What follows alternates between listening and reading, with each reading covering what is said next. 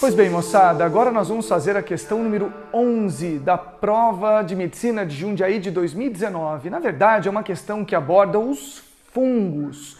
Primeira coisa que você tem que saber: os fungos são eucariotos, portanto, eles apresentam uma carioteca que delimita o material genético.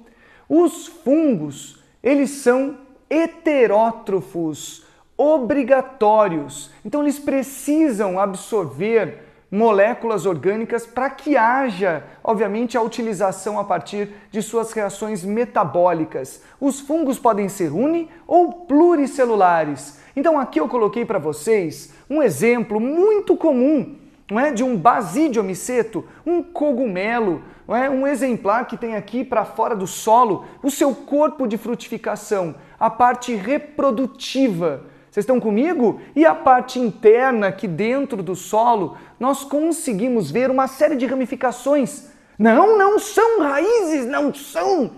São hifas. E o conjunto das hifas constitui o que eu chamo de micélio. Micélio.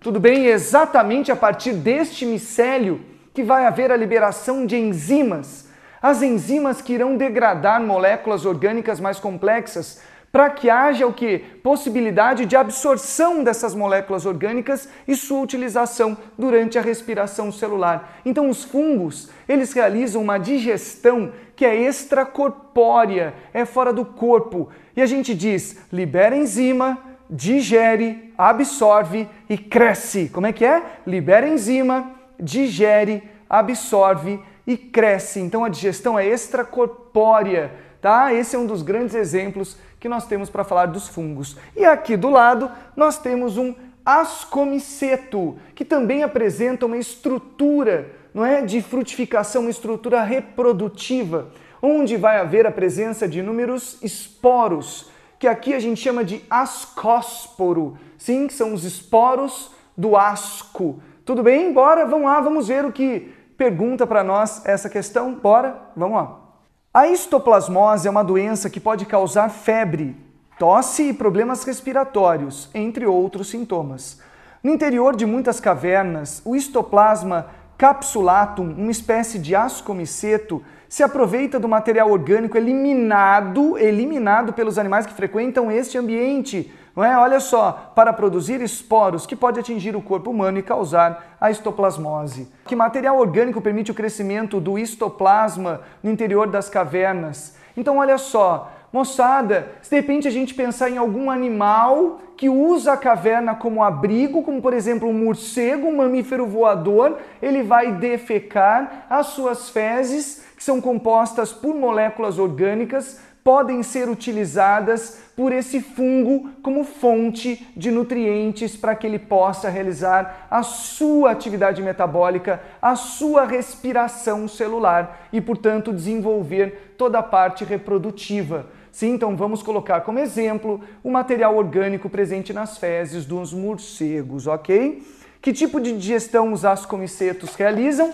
Então, assim como realiza não é? A digestão extracorpórea, um basidiomiceto, um ascomiceto também realiza a digestão dessas moléculas orgânicas fora do corpo. Então a transformação de moléculas grandes, de macromoléculas em moléculas menores é o que nós chamamos de digestão. E se a digestão é realizada fora do corpo, a digestão é extracorpórea, tá bom? Vale para qualquer tipo de fungo, inclusive os unicelulares. Ok? Com isso, a gente finaliza a letra A. Agora vamos para a letra B. Considerando a reprodução sexuada do ascomiceto, como ocorre a produção de esporos a partir do zigoto? Como esses esporos podem atingir o corpo humano? Bora! Qual é o plano? Vamos ver. Vamos pensar, por exemplo, em uma célula haploide, em uma célula haploide presente nas hifas de um ascomiceto. Tudo bem? Bora? Vamos lá, vamos partir desse princípio. E aqui nós temos uma outra célula haploide de um outro ascomiceto. Essas hifas podem se encontrar. Pode haver a fusão dos núcleos haploides para a formação de um núcleo diploide. Ah, Benu, mas e aí? Vai continuar diploide? A resposta é não. Esse núcleo diploide vai realizar uma divisão reducional. Tudo bem? Uma meiose. E a partir dessa meiose, olha só o que vai acontecer.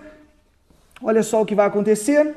Células haploides aqui, olha só. Células haploides. E são essas células haploides que podem se diferenciar em um esporo haploide. Esse esporo, esse esporo, olha, olha, olha, esse esporo vai se dispersar com o auxílio do vento.